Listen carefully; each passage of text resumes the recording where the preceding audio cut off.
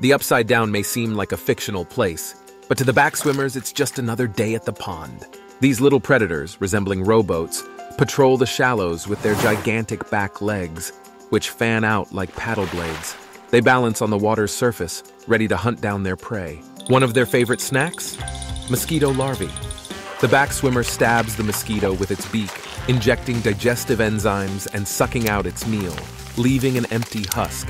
But it's not all about hunting. Backswimmers are also vigilant, their massive eyes scanning for danger from below and above.